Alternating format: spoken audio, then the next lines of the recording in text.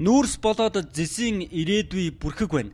Нүүрсний хувьд үн ярьж гадагшаа экспорт ярих нь цаашид улам л бүрхэг болох төлөвтэй. Дэлхийн нийт нүүрсний хэрэглэнээс татгалзаж эхэлсэн. За учир нь уур амьсгалын өөрчлөлтөд нүүрсний хэрэглээтэй шууд холбогдож байгаатай холбоотой гэж албаных нь тайлбарлаж байна. Манай бол гол одоо зах зээл одоо худалдаа зах зээл мань хятад байдаг. Тэгэхээр бол энэ нүүрсний зах зээлийн ирээдүй эсрэгтэл бас бидний санаа зовоосон нэг асуудал бол зайлшгүй мөн.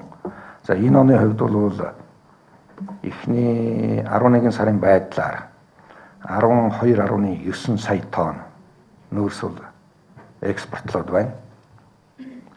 За энэ онд бол нийтдээ 15.5 сая тонныг экспортлох юм төлөвлөгөө зорилттой байгаа.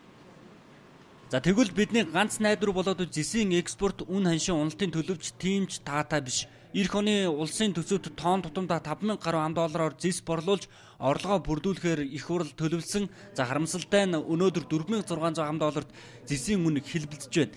Тоон дутмаас алдах 400 ам доллар гэдэг нь сургууль цэцэрлэг цалин тэтгэмж танагдана гэсэн үг. За Эрдэнэс MJL компани гүйцэтгэх захирал Бямсайхны хэлснээр зэсийн энэ уналт 2016 оны төгсгөлд нааштайгаар эргэж магадгүй гэсэн төлөв байна гэж найдвар тавьж байна дэсийн баяжмалыг одоо үйлдвэрлэж экспортлдог компаниудынхаа зардлыг л хамгийн түрүүнд багасгах тал дээр л анхаарч.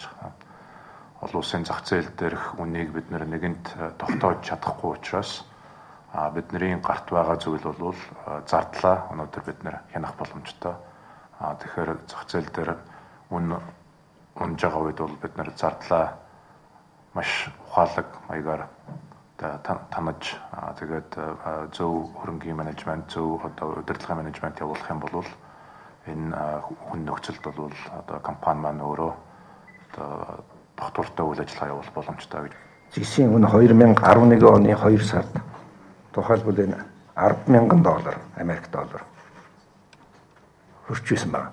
Тэгээ энээс хойш бол ерөөсө тогтвортой онж энэ онолтод үргэлжлээ лээ.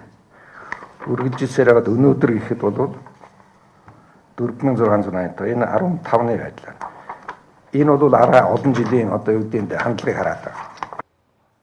Оюу толгойн далдуурхайн санхүүжилт шийдэгдэж энэ том төсөл гацаанаасаа гарсан нь эдийн засагт сайнаар нөлөөлөх том түлхэц. За гэвч түүнээс олборлох уул уурхайн экспортын гол нэрийн бүтээгдэхүүн маань дэлхийн зах зээлд үн хурж борлуулагдах найдвар тун баг байна. За энэ нь хямрал эсвэл хүндрэлж тийм хурдан арилахгүй гэсэн үг юм а.